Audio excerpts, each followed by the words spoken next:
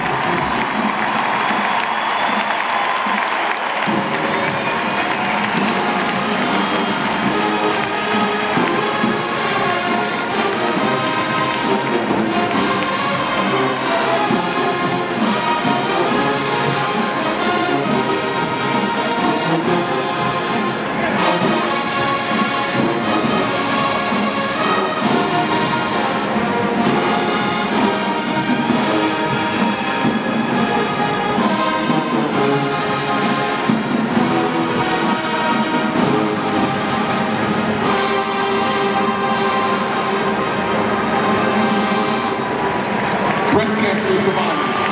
This one is for you.